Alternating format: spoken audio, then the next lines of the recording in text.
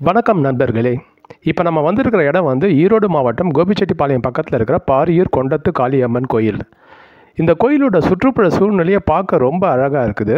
இந்த கோயிலை ஒட்டியே ஓடுற இந்த அழகான வாய்க்காலும் அதுக்கப்புறம் வந்து இந்த கோயிலை சுற்றி இருக்கிற கண்ணு கட்டின தூரம் வரைக்கும் தெரிகிற பசுமையான வயல்வெளிகளும் நம்ம மனசை அப்படியே கொல்ல கொள்ளுதில்லை இந்த பாரியூர் கொண்டத்து காளியம்மன் கோயில் சுமார் இரண்டாயிரம் வருடங்கள் பழமையானது அப்படின்னு இந்த கோயிலுக்கு பக்கத்துலேயே இருக்கிற அமரப்பனேஸ்வரர் அப்படின்ற சிவன் கோயிலில் இருந்த கல்வெட்டுகள் மூலியமாக கண்டுபிடிச்சிருக்கிறாங்க.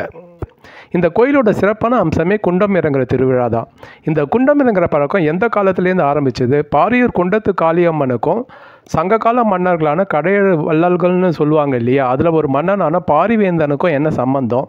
இந்த ஊருக்கு ஏன் பாரியூர்னு பேர் வந்தது? இந்த அம்மன் கோயில் கட்டிய மன்னர்கள் யார்? இந்த அம்மன் வந்து ரொம்ப சக்தி வாய்ந்த ஒரு உக்கிரமான தெய்வம் கொண்டத்து காளியம்மன். இரண்டாயிரம் வருடங்களுக்கு முன்னால் மன்னர்கள் எதிரிகள் மீது படையெடுத்து கிளம்புறதுக்கு முன்னாடி இந்த அம்மனுக்கு நரபலி கொடுத்து தான் கிளம்புவாங்களாம். இப்படி பல சுவாரஸ்யமான விஷயங்களை இந்த வீடியோவில் பார்க்க போகிறோம் அதுக்கு முன்னால் கண்டதும் கட்டதும் ஜெகன் இந்த சேனலை முதல் முறையாக பார்க்குறவங்க சப்ஸ்கிரைப் பண்ணுங்கள் இந்த வீடியோ உங்களுக்கு பிடிச்சிருந்துச்சுன்னா லைக் பண்ணுங்கள் அப்படியே மறக்காமல் கமெண்ட் செக்ஷனில் உங்கள் கருத்துக்களையும் பதி பதிவு பண்ணுங்கள் இப்போ வாங்க தொடர்ந்து வீடியோவை பார்க்கலாம். இந்த பாரியூர் வந்து புராண காலத்தில் பாராபுரி இல்லைன்னா அழகாபுரி அப்படின்னு அழைக்கப்பட்டதா கொண்டத்து காளியம்மன் ஆற்றுப்படை அப்படின்ற ஒரு பழமையான ஓலைச்சுவடி சொல்லுது. அதுக்கப்புறம் இதே பாரியூர் வந்து பெரும் பழனாபுரி அப்படின்னு அழைக்கப்பட்டு இருக்கு பழனங்கள் அப்படின்னா வயல்வெளிகள்னு அர்த்தம். பாரிவல்லல் அப்படின்னு ஒரு சங்ககால மன்னன் இருந்ததை நாம் வந்து படிச்சிருப்போம். அந்த மன்னனோட வந்து குலதெய்வமாக இந்த கொண்டத்து காளியம்மன் வந்து இருந்திருக்குது. இந்த கடையேழு வள்ளல்கள்னு சொல்லுவாங்க. பாரி காரி ஓரி பேகன் அந்த மாதிரி. இவங்கெல்லாம் வந்து சங்க காலத்தை சேர்ந்தவங்க. அதாவது ரெண்டாயிரம் ஆண்டுகளுக்கு முன்னால் வாழ்ந்த மன்னர்கள். இப்போ கூட பார்த்தீங்கன்னா கொல்லிமலை ஆண்டது வந்து ஓரி மன்னன் அப்படின்னு நம்ம படிச்சிருப்போம். இவங்கெல்லாம் வந்து மலை பிரதேசங்களை தான் ஆண்டு இருக்கிறாங்க. அந்த மாதிரி இந்த கொண்டத்து காளியம்மன் கோயிலுக்கு எதிரில் தெரிகிற அந்த மலையில் தான் வந்து பாரி மன்னன் வந்து ஆண்டு இருக்கிறான். அதனால் இந்த ஊர் வந்து பாரியூர் அப்படின்னு அழைக்கப்படுறதா கல்வெட்டு சான்று சொல்லுது. இந்த கொண்டத்து காளியம்மன் கோயில் வந்து ரெண்டாயிரம் வருடங்கள் பழமையான ஒரு கோயில். இந்த கோயிலை கட்டினது வந்து சேர மன்னர்கள்.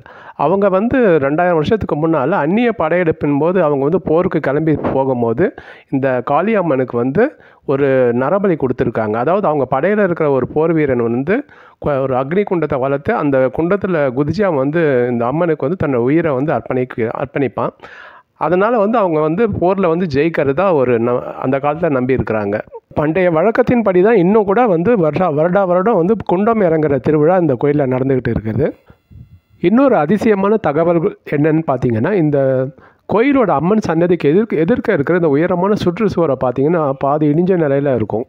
இதுக்கு என்ன காரணம்னு பார்க்கும்போது இந்த அம்மன் சன்னதிக்கு எதிர்க்க நேராக தெரிகிற அந்த மலை தான் வந்து பாரிவேந்தன் வந்து ஆண்ட மலை. அவனும் அவனுடைய மக்களுக்கும் வந்து இந்த அம்மன் தான் குலதெய்வமாக இருந்திருக்கிற காரணத்தினால இந்த அம்மனுடைய பார்வை வந்து அந்த மலையை வந்து இந்த சுற்றுச்சுவர் மறைக்குதுன்றது கார காரணத்தினால எத்தனை முறை திரும்ப திரும்ப அந்த சுற்றுச்சுவரை இவங்க கட்டினாலும் அது வந்து கொஞ்ச நாள் இடிஞ்சு விழுந்துருது. அதனால் அதுக்கப்புறம் வந்து மக்களும் வந்து அந்த சுற்றுச்சுவரை அதுக்கப்புறம் கட்டலை. இப்போதைக்கு வந்து அந்த இடத்த வந்து அப்படியே காலியாகவே விட்டுட்டாங்க. இப்போதைக்கு வந்து அந்த சன்னதிக்கு எதிர்க்க இருக்கிற இடத்த வந்து அந்த பா அம்மனுடைய பார்வை வந்து பாரி அந்த மன்னன் ஆண்ட மலையை நோக்கி பார்வை படுற மாதிரி ஒரு சின்னதாக சுவர் எழுப்பி கேப் விட்டு கட்டியிருக்கிறாங்க. பாரியூர் கொண்டத்து காளியம்மன் இந்த கோயில் வந்து ஒரு ரெண்டாயிரம் ஆண்டுகள் பழமையானது அப்படின்னு சொன்னாலும் இப்போ நம்ம பார்த்துட்டு இருக்கிற இந்த பெரிய கோயிலை சுற்றி இருக்கிற மண்டபம் அப்புறமா வந்து கோபுரம் கோபுரம் இதெல்லாம் வந்து ஆயிரத்தி தொள்ளாயிரத்தி ஐம்பதுகளில் இந்த ஊரினுடைய ஒரு முக்கியமான பிரபலம் வந்து கட்டி கொடுத்துருக்காரு. அந்த கோயிலில் இருக்கிற இந்த கருப்பராயன் சிலை வந்து ரொம்ப ஒரு சக்தி வாய்ந்த ஒரு தெய்வம்னு இங்கே இருக்கிற மக்கள் வந்து நம்புகிறாங்க இந்த அம் இந்த கருப்பராயன் வந்து தீய சக்திகளெல்லாம் அழித்து மக்கள்கிட்டேருந்து பயம் எல்லாம் விலக்கி ஒரு தைரியத்தை கொடுக்குற பாரியூர் ஒரு காலத்தில் மக்கள் அதிகமாக வசிக்கக்கூடிய ஒரு பெரிய நகரமாக இருந்திருக்கு. அதுக்கப்புறம் அந்நிய படையெடுப்புகள்னால மக்கள் வந்து இங்கேருந்து புலம்பெயர்ந்து ரெண்டு இட ஊருங்களுக்கு போயிருக்காங்க. அந்த ஊர் தான் இப்போயும் வந்து பாரியூர் நஞ்சகவுண்டன் பாளையம் பாரியூர் வெள்ளாளப்பாளையம் அப்படின்னு சொல்கிறாங்க அதுக்கப்புறம் அந்நிய படையெடுப்பின் போது இந்த பாரியூர் அம்மன் கோயிலை வந்து அவங்களால சேதப்படுத்த முடியல. அதுக்கப்புறம் இப்போ நம்ம பார்த்துட்டு இருக்கிற இந்த வாய்க்காலோட பேர் வந்து தடப்பள்ளி. இந்த வாய்க்காலை வெட்டி அதுக்கப்புறம் வந்து பாரியூர் வந்து முழுக்க முழுக்க ஒரு வயல்வெளி கிராமமாக மாறியிருக்கு. பாரியூர் கொண்டத்து காளியம்மன் வந்து ஒரு உக்கிரமான தெய்வம்.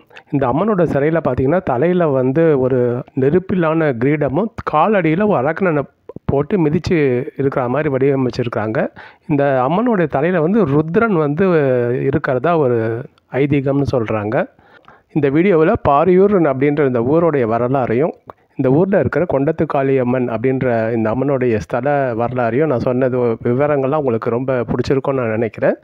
இந்த வீடியோவை லைக் பண்ணுங்கள் நன்றி. வணக்கம்.